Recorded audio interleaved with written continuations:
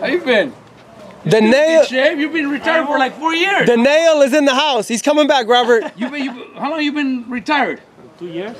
And you still looking in shape. You still weighing 175. I'm He's still in shape. he's in better shape than fighters who You're always fight. eating- You're always eating healthy, and that's good for your own for your own good. Um, yeah, I'm coming to the Marcus gym, working once in a How old are you?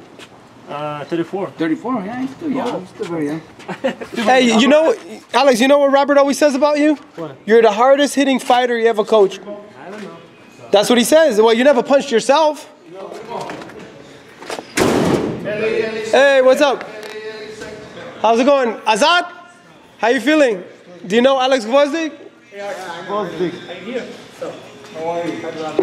This is the mayor of Yerevan. What's up, Art? Okay. English better. Oh, well, let's talk. Как дела? Нормально? Нормально. I see you got a new mat.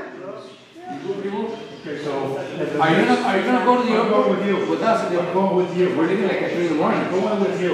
Okay, yeah. Okay, cool. Cool. Because I'm leaving my house like at three in the morning. What time are you guys leaving? Wednesday.